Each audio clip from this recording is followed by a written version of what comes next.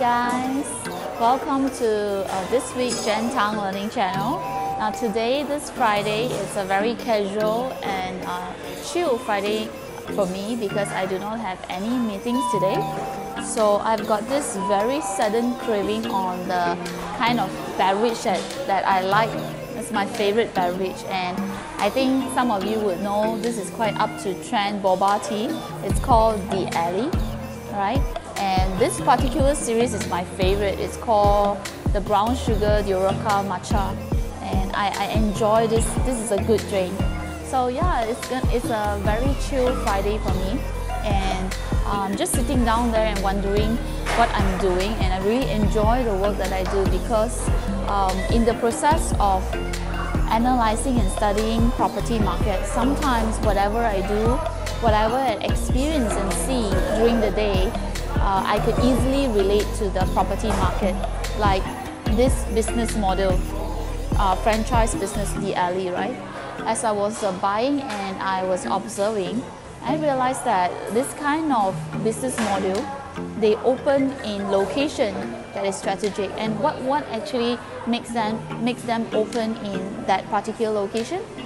They definitely do some survey, and uh, some of the survey will be definitely in terms of the market demand, the type of population, and most importantly, the location has to be strategic and it has to have enough number of people or crowd in that location to sustain uh, the demand or sustain the business.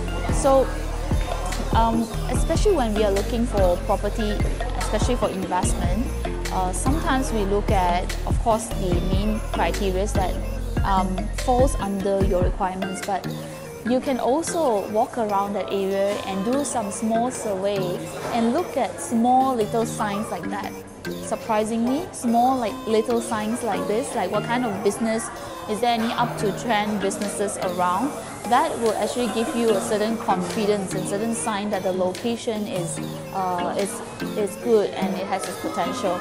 Because this kind of business, franchise business, they will definitely do their due diligence well before uh, making a decision to open up a store here. Alright?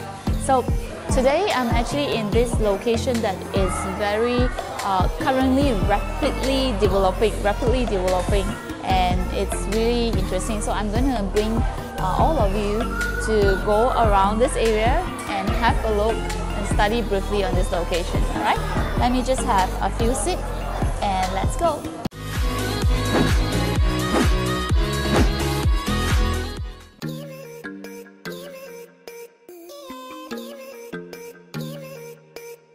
Hi everyone, so right now I'm actually on Old Klang Road and I have my very talented videographer with me, Melvin. Hello.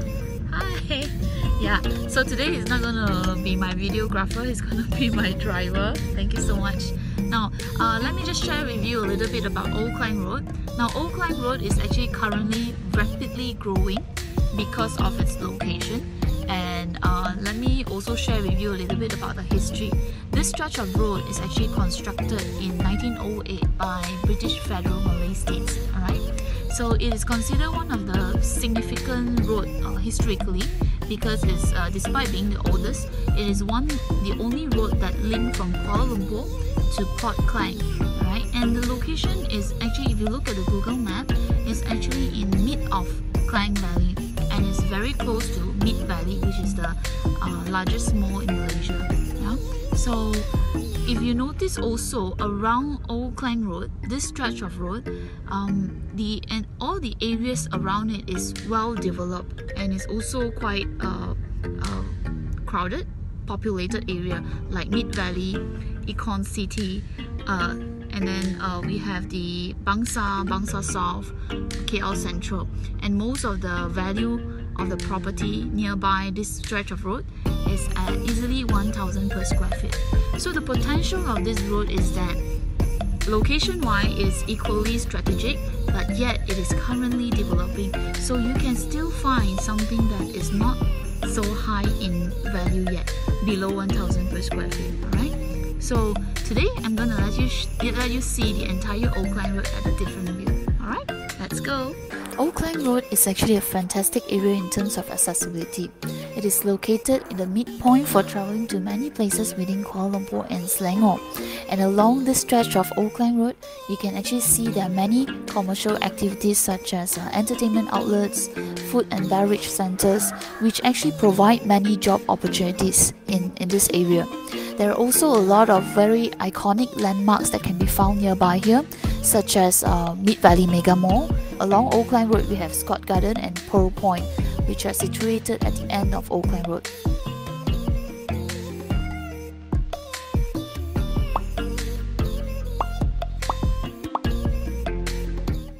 So guys, that's a very brief footage and a drone view on the entire Old Klang Road. Now many people may not be aware of the potential of Old Klang Road, but in fact, because of its strategic location, uh, this area here has a very uh, good potential and that can be proven by the number of big property developers that are coming in and it's also an area that is sandwiched between a very well developed uh, development very well developed areas like Mid Valley, KL Central and so on.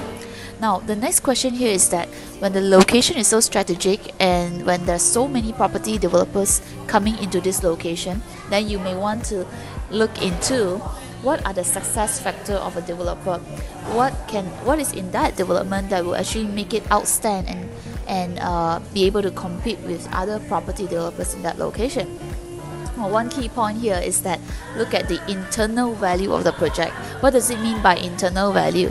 Now, in a high internal value project means that despite the location, if I put if I shift that high internal development into other areas, it has a self-sustaining factor or a self -capa capability to attract people to go to that development itself, despite looking at the location. So if you happen to have happen to see a high internal value project located in a very strategic location, then this will be a very prospectful uh, investment okay so one of the example that i can give you nowadays is that mixed development concept now you can actually see that the future generation are looking are liking more of this concept the conveniency concept where everything is under a roof. You don't even have to travel out. So you can actually stay there uh, work there or um, entertainment factor is there and everything is under a roof. So that is one thing that the future generation will like okay? And then besides that you look at what kind of concept that the development can give. For example there will always be a market that will go for a premium lifestyle concept or a more quality lifestyle concept yeah? And also if you look at the future generation the current generation actually they enjoy uh, quality lifestyle concept so these are some of the things that you may want to look into um, besides looking at the location and that will actually helps in boosting up the occupancy rate of that, that development and hence the rental rate and then subsequently the property value yeah so that's all for this week. Uh, today we talk a little bit about Old Klang Road and some of uh, some of my insights on uh, looking into internal value of a project. Yeah, and I hope that you enjoy this video. Now before I end this video, let me just share with you the current project that I'm marketing in Old Klang Road that has very good internal value with very strong past track record on the developer. Right after this, you'll be able to see the site of the development that is completing in 2022 and a sneak peek on the concept of the entire development. And if you would like to know more about this project, just uh, private message me, PM me, and I'll walk through with you on the project personally. Okay? Thank you very much for thank you very much for watching and stay tuned for my next week video. Goodbye.